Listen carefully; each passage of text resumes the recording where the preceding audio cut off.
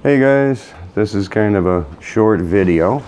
And yes, I did convert my second mill, mini mill, over to full CNC.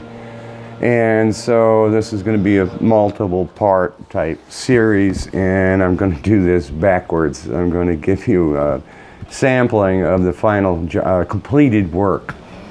So I'll show actually running the machine and then the next few videos I'll show making the parts. Here's how, how or uh, yeah, how I guess. I made uh, motor mounts, stepper mounts for the x-axis, the y, and then the last one will be the z.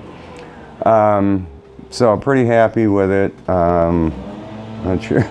This is going to be all kinds of crazy, uh, not really fluid type video and work because I haven't done it before, so I'm just taping as I'm figuring things out live. So hope you enjoy and um, see you next time. Sorry about the lighting guys, turned cold again, so uh, kind of glary, I know. Um, what to say, uh, took a long time to get here. Um, be happy to help anybody with this kind of setup. Um, like I said, it took months and months to get this working. Um, Mach 3, very difficult program to work with. I got the motors tuned. I'll be documenting everything. So if anybody wants to try this, they're welcome to it. Um, so, and I even have the axes calibrated. Um, still need to do an e-stop. I'd like to put limit switches on it. Um, what else? Yeah, e-stop. I want everything to go. So I might design something that just cuts power to everything so it's dead. Uh, probably should put a relay on the spindle. I think you can actually set in RPM and then turn it on and the spindle goes. I don't have it plugged in right now. But um, enclose the whole thing because the big thing about the mill is I never want to use it because of the big mess it makes. So push come to shove, I can do manual stuff. You know, if it's enclosed, I can sit here on the computer and machine the part just telling it what to do. Um, also big problem here because inches and millimeters, um, you're supposed to run Linux CNC to talk to Mach 3 I can't yet figure out how to get Linux CNC to generate inches, so it switches this over to millimeters, and then your soft limits that I have in place are in millimeters and it stays there, but then I want to run inches. I mean, it just goes back and forth. Incredibly, ridiculously complicated to do. Oh, I got a lot of junk. I like to get my touch DRO back up on this. The hardware died. So I need to get another board, but um, I can, um, rather than doing it here, I've got a remote connection, so I'm behind the camera here, just running this thing. Um, what do we want? I want the head to go to the right, so there. So there, I've got that all tuned up, works nice, axis is very smooth. The same way with the y-axis, I can be yeah, still got a little bit of work to do on it, I guess. I don't know why. Oh, I know why. It's a coupling. So I got a machine coupling differently. And Z to make that work. That's a 100 to 1 transmission in there. I can hit, uh, go to zero. So everybody rehomes themselves. He goes, yep, there goes the head. The axis is where it's zeroed. So it knows where home is.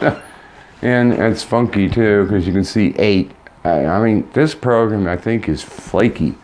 Sometimes it goes to zero, sometimes it stops and says, I'm at eight. I told it to go to zero. So I'm going to zero that now. Now move, uh, what is that? That's Y. So I want to move the head to the right. Yeah, that's the other thing is, oh yeah, there you can do it. All right, now go to zero. Should re-zero that. Okay, that was, I was supposed to do Y, dummy. Uh, I want, which way? yeah, I don't know why it does that. always on the start. Now go to zero. 18 see it's reading millimeters right now. Now it's zeroed out rather than being at eight. So it's random. I don't get some of these little weird quirks in this. But like I said, um, got it pretty much so tuned up and whatever. I mean, so now I know it's going to be a long time before I actually show a video here of machining something. First thing I want to do, yeah, I get, yeah.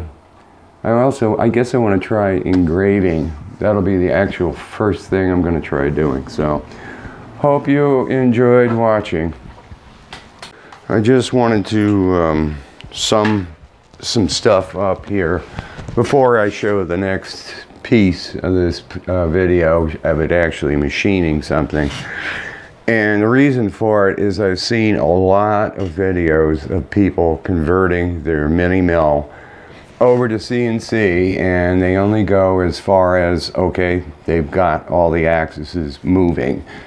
But I never see them actually take it kind of to the next level. So I am using FreeCAD for my designs. I've showed other videos on that and how it works and I'm using the Linux CNC post processor in it which is supposedly what um, Mach 3 understands so it's all compatible uh, have, again I haven't done a whole lot of work so I don't know about the compatibility or what it just seems to be working so far um, Mach 3 I don't know whether I'm doing something wrong or it's got bugs like crazy in it.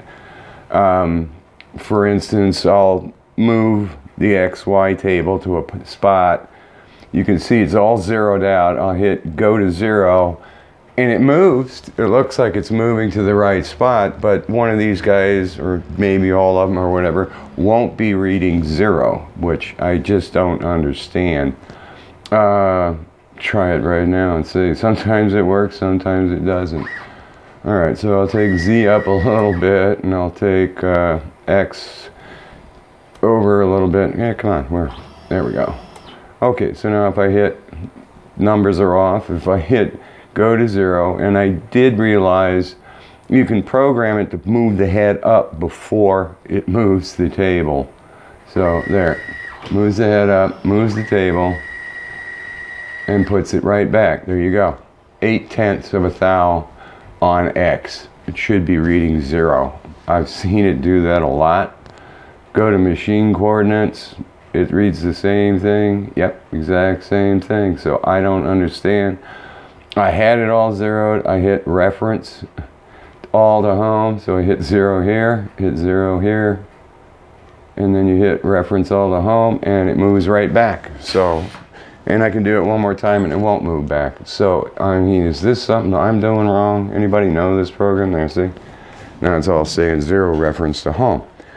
Um, so, I don't know. Um, I wish there was a different platform, but um, I already paid for this guy. It's licensed, registered. Um, what else can I say? So, yeah, uh, FreeCAD does the designs.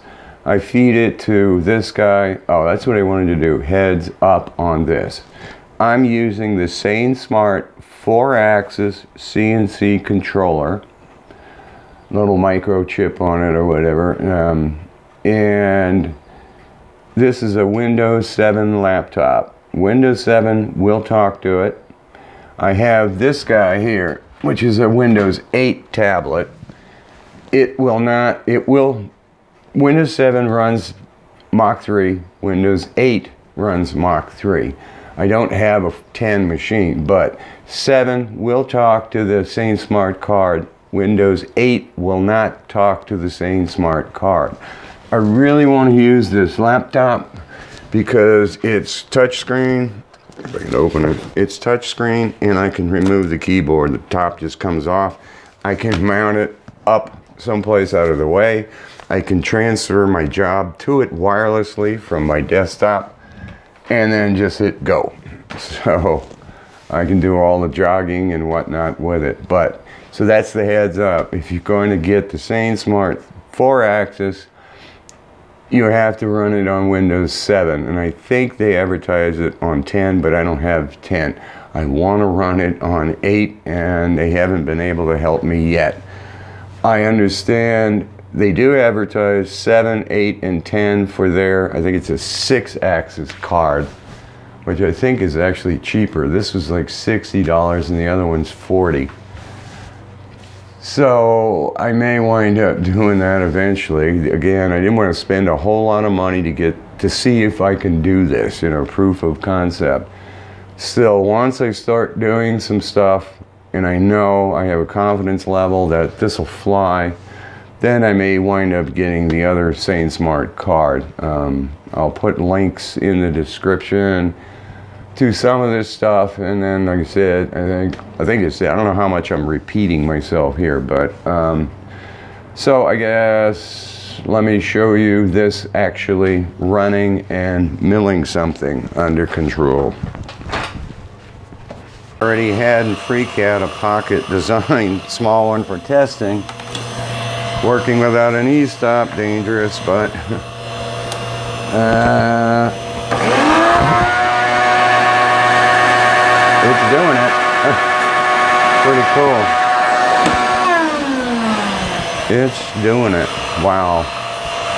Nice edges too on it, I'll tell you that. Quarter inch carbide, two flute, bottom center cutting, and mill. I don't know why it's not clearing this other stuff out yet, but I didn't pay attention to the step over. I think it was set for 100%, but uh, I don't know.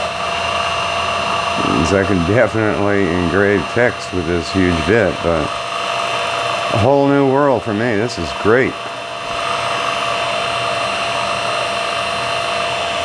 Put more light on it. I got another light over here. Ow. Get rid of the shadow, huh? There.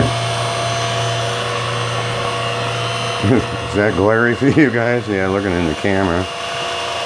There, a little bit better. Interesting. Huh. I forgot how deep I told it to go.